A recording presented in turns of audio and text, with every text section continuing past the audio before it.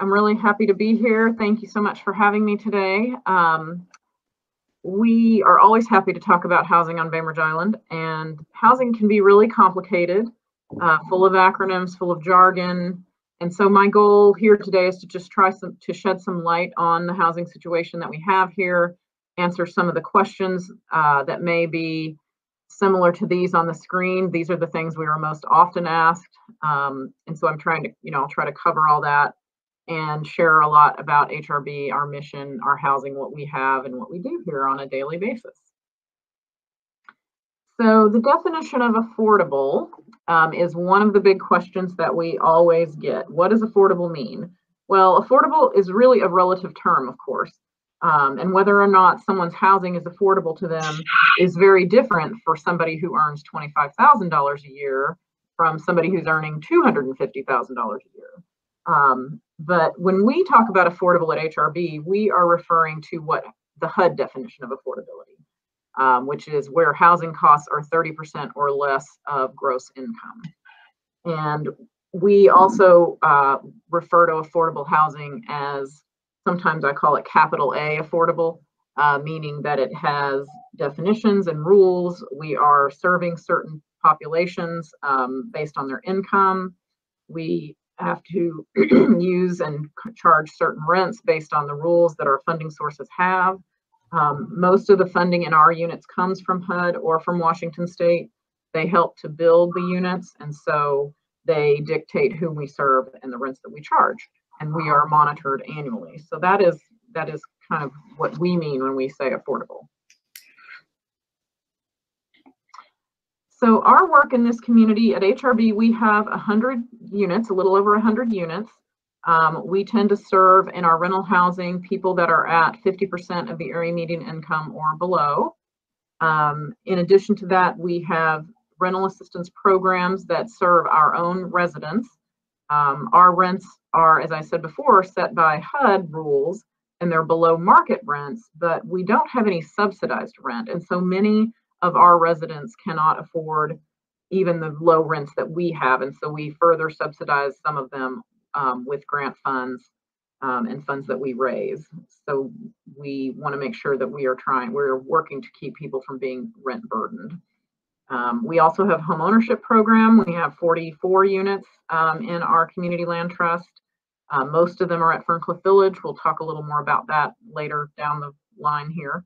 Um, we work with homeowners um, at our neighborhoods as well as we work to assist home buyers in purchasing um, units with us, um, helping them get through the process of buying a house. We have some housing programs internally. We have an independent living uh, program that is it, it serves uh, folks to keep them safe at home, um, elderly and disabled mostly. Um, we do about 15 projects a year, things around um, installing grab bars, remodeling bathrooms, um, stair, stairs and ramps, and anything that helps somebody be able to live in their home safely. We also do things uh, like air quality, um, helping with the accumulation of stuff, which happens to all of us. Um, and then in addition to those things, we just get lots and lots of requests for housing assistance. People call and say, I'm losing my housing, my rent's going up, I don't know what to do, where to go. And so we spend time uh, just trying to help people find resources, referrals, um, and help them navigate what is a very complicated system overall. And then we also really want to continue and do a lot of education and advocacy, kind of like what we're doing today, just talking to groups um, of people about housing, why it's important, um, why they should care. So we do events like this, we do house parties, or we used to before COVID, and we hope to get back to them.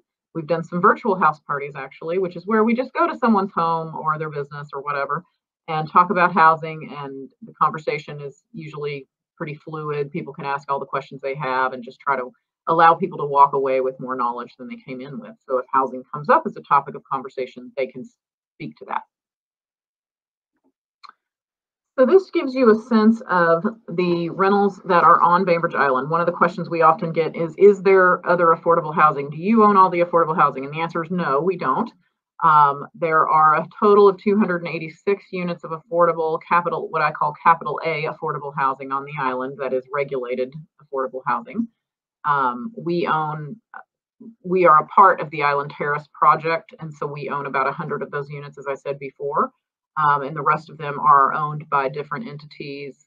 Um, Housing Kitsap is one, and then private developers are others. There are also some units that come with subsidy. As I mentioned, we don't have subsidy in our units. Um, subsidy is where the tenant is charged 30% of their income and then the subsidy picks up the remaining portion. So if someone can only afford $200 a month, but the rent is $700 a month and they pay the 200, and then the subsidy piece picks up the 500. Um, and there are about 167 units on the island with subsidy. Um, so not very many. There are long waiting lists for all of these properties. About 400 households are currently waiting to be given or be able to access housing, affordable housing on Bainbridge Island. Um, and so we have a long way to go to fill the gap for sure. So another big question that we often get is why is there no housing? Why is rent so high? Why is the market so tight? And there are several reasons for that, but one really, really big one is that we are not constructing enough housing. This is true here, this is true across the Northwest and even across the US. We just have not built enough housing over the 10 year, over the last 10 to 12 years to keep up with the demand. In Kitsap County, we have only built one house for every two households that is moving here. So it's a very simple concept of supply and demand. We just don't have enough. There's a lot of demand. And when that happens, um, people at the very low end of the socioeconomic scale get pushed out first. Um, and then it starts to creep up the chain. And now we're finding, you know, many people, even of moderate um, means are being pushed out as well, pushed off Bainbridge, pushed into North Kitsap. People in North Kitsap are being pushed further south. People further south are being pushed into other counties. And so it is just kind of a cascading effect. Um, so that's that's a one really large reason that we don't have enough housing. There are some other factors that contribute to that. Um, there's housing policy. It tends to preference homeownership, both federal and state, over rental living. So there's definitely a lack of rental housing across the nation. There is the construction of affordable housing is often very controversial. It brings up uh, NIMBYism, which I'm sure you've heard, not in my backyard. People don't want it near them for various reasons. Um, there are lots of policy barriers, all kinds of zoning requirements and restrictions that make it very difficult and expensive to build. There's been a big generational shift in who's buying homes. Um, you know, we have baby boomers who are aging and would like to move into smaller homes. There are people in Generation X who are able to get back into the housing market after the downturn. So they're trying to buy these kind of modest, smaller homes. And then we have millennials who are now ready to buy homes. So we have all these groups that are competing essentially for the same house. Um, you know, moderate, moderate, normal non-huge homes. And so there's just a lot of people who want it. And then of course, cost of labor and materials has just gone up and up and up and continues to do so. And of course, real wages, again, have not kept up with housing costs. People's wages are not going up at the same rate that the cost of housing is going up. So all of these things are why we're in a crisis. Um, this information here, Reynolds and Kitsap County, there is a national group called the National Low Income Housing Alliance, and they do a report every year called Out of Reach, where they basically look at every area of the country, county by county, and sometimes, you know, metro regions by metro region, and they figure out like what does it cost to rent something there um, and what does someone need to do. So in Kitsap County, our minimum wage does not afford anybody the ability to rent a home. The fair market rate for a two bedroom apartment or two bedroom rental in this county is 12, almost $1,300. And in order to afford that, you have to work 1.8 jobs, meaning almost 80 hours a week at minimum wage to be able to afford that. Oh, that's terrible. yeah. And there's actually no place in the US that someone can earn minimum wage and afford housing in that area. Yeah. Literally no place, no matter what state you're in. Yeah. So you can see that it is a huge issue just across across the nation. Yes. On Bainbridge Island, we're even a little worse off than in Kitsap because, as we all know, prices here are even higher than in the rest of the county. The average rent on Bainbridge Island is about $2,200, $2,300 a month. Um, it continues to rise. Um, there are no units that we could find that are rent for less than $1,500 a month. So everything is very expensive. And I will say there are definitely um, anecdotal things that we hear of landlords on the island that rent things for much less that are providing, you know, a more affordable rental.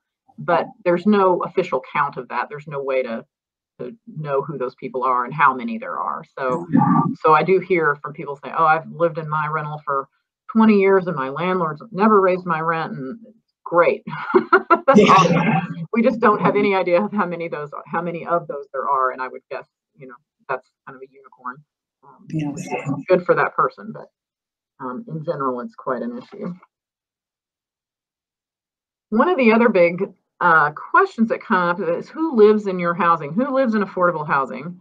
Who, what, what do people who live and and earn money, you know, fund money here? What can they afford to have? And so we created this chart as a way to hopefully illustrate the different people that we have in our housing and the different people and what people can afford based on their job.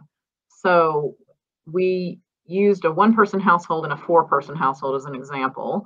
So someone who's earning at the 50% of area median income level for a one person household that means they're earning about 32,000 a year. If it's a four person household that means 45,000.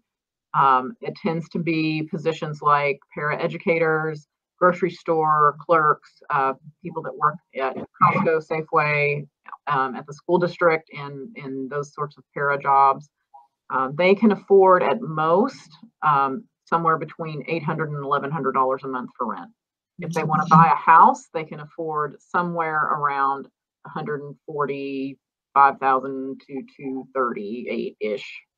Kind of, kind of non-existent. Right, exactly. It shows you how difficult it is for someone at that level. And if you kind of scroll down the chart, you can see as you go up, um, it gets slightly better. But even when you're down at the very bottom at the 150% of AMI level, um, which is considered moderate income, and that's teachers, that's firefighters, uh, people in professional jobs, even they are priced out of Bainbridge Island now because the average house is is you know 800,000 900,000 um and then they you know even finding rentals is really really hard because there's not enough number 1 and number 2 the prices are really high. So you can see the issue um, and it affects people in all jobs all across the spectrum people that we definitely need to have in our communities and want to have in our communities. And there's there's also a myth at times um, about people that live in affordable housing. Um, there's a belief that they're different from us, that they're different from our friends, different from our families. It's simply not true. They are us. They are our friends. They are our family. Um, they are just like us. There is no them. we Yeah. are all. So it's you know one of the things we like to try to dispel that myth is that there's something wrong with people that need to live in affordable housing. There is there's nothing wrong with them other than they may have chosen a career that just doesn't pay as much as as you know a, a Yeah. Or whatever. That it's just they you know we've all we all have jobs that don't pay what we need to make to afford housing. So Right. wrong with anybody. We serve all kinds of people. Those jobs are so essential and, you know, to say that, you know, because you make this and you amount and you have to live far away, then all of a sudden the expense of transportation comes up, which just makes it worse. And, uh, Absolutely. oh, Yeah. yeah, I mean, we've all sat, I know, in traffic on 305 coming and Mhm. going, and it's it's because people have to drive here to work here. right. And it's really impacting business because it's hard to find employees. If I live in, you know, Port Orchard and I'm driving here to work in a care facility, I pass 10 care facilities on my way here. Why do I want to drive all the way here to work at one? I can work else. Precisely. you know? Yeah. So it, it definitely has environmental impacts, um, huge environmental impacts as well. Yeah. So I want to just move into a little bit, um, we've talked about rentals a lot, so I wanted to talk a little bit about our home ownership program um, and share with you a little bit about community land trust and what that means. HRB is a community land trust organization. And what that means is that we conserve and steward land to develop affordable housing. And we do this so that we can provide um, quality housing opportunities that will serve Bainbridge Island in perpetuity forever. And so um, what that means and how that works effectively is that we separate the ownership of land from the ownership of the house. So the person's buying the structure the home, but not the ground. We own the ground under it. Um, there are CLTs all over the US and, and the CLT, a nonprofit organization, owns the ground. When we sell that home to the home buyer, we enter into a ground lease with them that spells out the responsibilities of both the owner and the CLT, us. Um, and then within the ground lease, there's a resale formula that's built in that's that basically defines what the homeowner can sell their home for in the future. And so that allows the home to be kept affordable to the next buyer. Um, CLT homes can be all in one neighborhood, similar to our Ferncliff Village neighborhood. On Bainbridge, they can be scattered around in different neighborhoods. They can be condos. Um, they can meet all kinds of, of different needs and different look, looks. They can look at a lot, a lot of different ways. The Community Land Trust um, kind of came about. The history of it is really, actually, really interesting. The first one in the U.S. grew out of the Southern Civil Rights Movement uh, when a group of people from Georgia, from the new communities, uh, went over to Israel and adapted what they do have done in Israel with these agricultural co-ops. They have these co-ops there that are leased. They're on land that are leased from the Jewish National Fund. Um, and so they saw how that worked there and they came back here and they combined the community ownership of the land with the individual ownership of the houses. And so that's how it came, came, came to be. And today there are more than 300 community land trust organizations across the nation. We have 13 in Washington state. Um, we are the fifth largest in Washington state. And so it's a model that is spreading and has been proven effective in, in creating long-term affordability and creating long-term preservation of land for housing for the community. Excellent. So we have 44 homes, as I mentioned, um, in our community land trust. We have right now 30 households on our waiting list who would like to have a community land trust home. Um, part of our job as the CLT is to steward these homes and our buyers and our owners. Uh, we oversee all the home sales to ensure that those that purchase them are income qualified, they meet all the rules, um, and that when they go to sell it, that sales price is set and remains affordable. We want to make sure that the owners we sell to can afford their home. So we have a rule, a requirement that the house price, the house, the monthly mortgage payment can and housing costs can be no more than 35% of their monthly income. So slightly above that 30% that HUD sets. Um, and then we continue to support, there's an HOA in our neighborhood, for example, at Ferncliff Village. We try to support the HOA um, as they manage themselves. We work with potential buyers. Uh, they come in and apply, you know, wanting to own a home, and we help them get ready for that. Whether that's, excuse me, reducing debt or um, saving, you know, working towards saving up money, um, and then just helping them navigate the actual process, as I'm sure if you own a home, you may remember how it's really challenging. The bank wants lots of information from you. You have a lot of things you have to do in order to, to be approved for a loan. And so we just support people through that process. And then this uh, really illustrates what I mean by permanent affordability. We have uh, our Ferncliff Village neighborhood has 40 homes in it. Uh, we built that neighborhood starting um, in the first people moved in around 2012. Um, and we've had a few resales in the neighborhood that just illustrate how the affordability is retained. Um, so you can see here on the first one, for example, it was sold originally in May of 2012. Um, it was resold to another household in March of 2017. The first family paid 222,000. They were able to sell that for 236,000. Um, the market appraisal on that house, had it been sold on the open market, would have been 457,000. So you can see how that affordability is retained and the owner does get what we call shared equity. They do get some return. So even though they're not making, you know, 200% equity, they do have some equity in that home and are able to walk away with some, some, it generates some wealth for them. And it, you know, as you can see, they've just gotten, the market appraisals are going up. And at this point, I think we've had five or six resales, so I need to add those here to kind of continue to show the illustration, but um, it works is, is the bottom line. We're really proud to see how it's worked in our community. And another question that I often get from people uh, when we're talking about this is they want to understand how homes become affordable. What do we need to do to get them to affordability for the home buyer? And the answer is a lot of layers because it costs more to build the house or to buy the house than it does than the person that we're trying to work with can afford. And so we have to put a lot of funding sources into that to make it work. Um, we have private funding, private philanthropy dollars that we have um, fundraised or over time. Um, we have used programs like the SHOP program, which is a self-help program from HUD, uh, where we are able to get grant funds that can go into purchasing home sites or infrastructure. There is a USDA home loan program that works with families below 80% of area median income.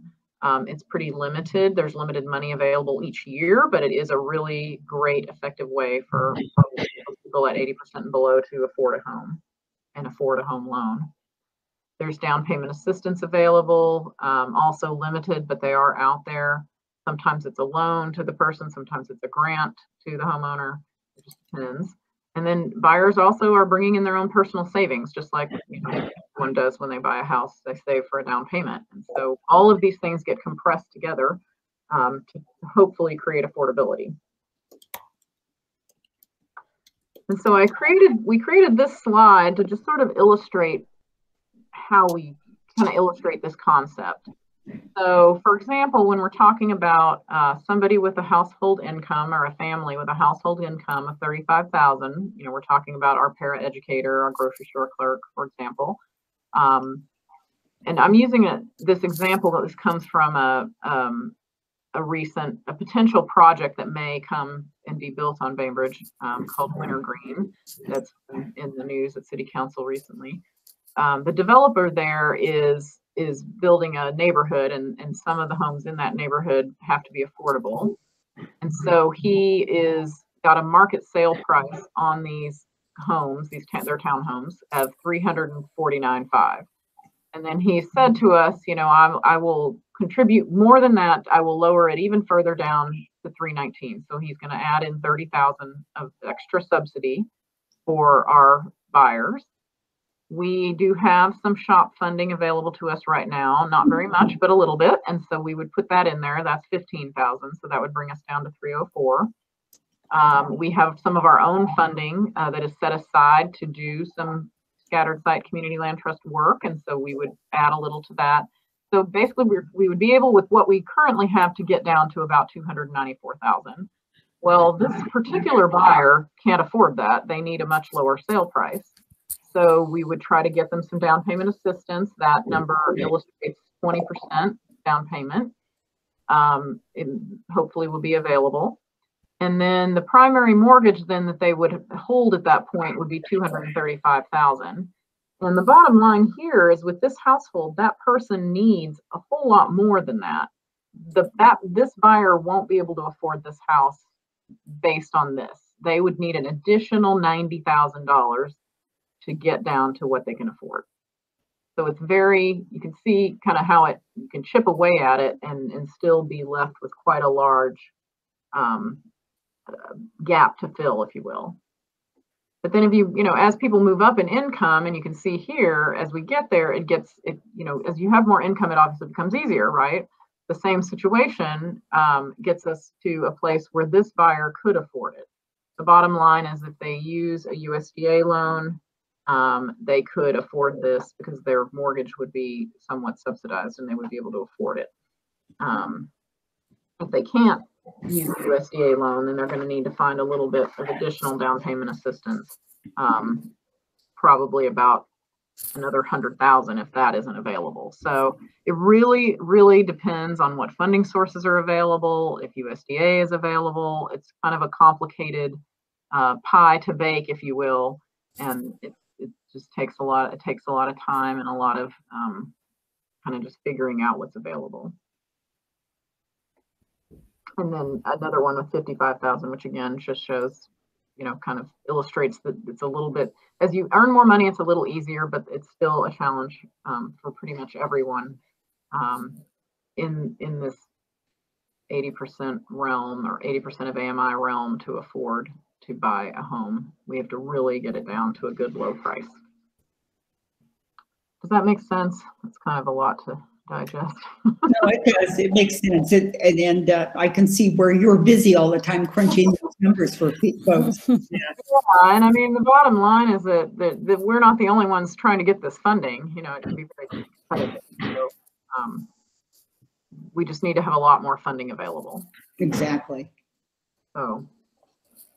And we can donate to HRB through One Call for All and directly too. I mean, uh, Islanders can step up to the plate. of course. Um, so we, you know, we just feel really strongly that everyone here, everybody who lives on Bainbridge Island and everybody who lives everywhere really should care about housing in their community.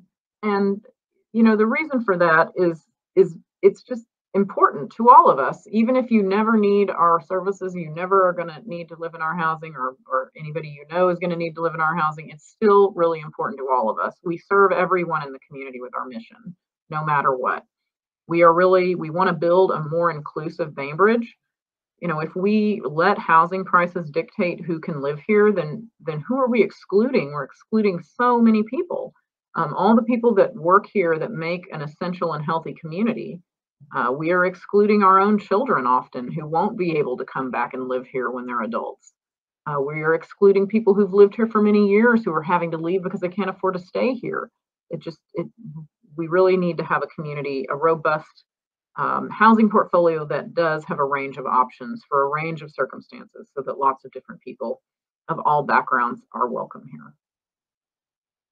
Um, you know, we view that how affordable housing is a community resource, just like a good school, having a great school district, which we do, having housing that's affordable is also key to keeping folks and keeping a community super healthy. Um, you know, we, we view affordable housing as the same as social justice. Um, where people live is really one of the biggest determinants of their health and well-being into the future. And so if you have safe housing that's affordable to you and you can live in a community that has high, high quality amenities like great schools and healthcare and services, um, then that is going to dictate the future for kids. Kids need that. And so closing off our community to any to all these folks unless you're very affluent closing off the community it really consigns people lower income households to places that are less that have less amenities and less um, less health in their community we really feel it's important um, we want to embrace and manage change um, there are lots of uh, we don't feel like we have to forsake environmental stewardship or protection of natural lands or any of these other ethics that we have as a community. We think that we, we just don't want to sit back and let change happen to us. We want to make deliberate change. We want to address the need for growth and address these adverse market forces while also thinking about sustainability and and environmental and all of that. We want everything. Everything works together. Nothing's nothing is in a silo. So these are kind of our the, the reasons we think that everybody should care. Excellent. yeah. And then, you know, often just in closing, I'll say we are often asked, well, what can I do? What can I do? And I would say learn more, just sharing what you know about housing, what you might have learned. Um, if you know, whatever you've taken away from this presentation, if anything, share that with others that you know. I think just having talking about it more um, is what we need to be doing as well. And then signing up, you know, we have newsletters. Um, we have a Facebook page. Please sign up if you're not already to receive those. Um, we we work to keep everyone informed about what's going on in the community with regard to housing. We want to um, bring as much education and advocacy toward this issue as we can. I think HRB is a, a fantastic organization that we are very lucky to have here on Bainbridge. Um, one of my uh, things is that I would wish that everybody makes enough money here on Bainbridge Island in order to live here. You know, there's two ends to this Mhm. affordable housing, but also people making wages to be able to live in the community that where they work. I think is so important also. Yeah, I think I agree. I mean, creating, raising wages and finding a way to just pay people more is the other piece of the puzzle too, correct? I mean, Exactly. we all, we all, everybody needs to earn a living wage and I think that is definitely something as a country we need to work on. We really need a lot of work on that. So Yeah, for sure. There are many, many, many things we need to do to solve this, to solve this issue and work at this issue, so. absolutely. Well, thank you so much, Phedra, for joining us today. Yeah, thank you for having me. It was really great. I appreciate it.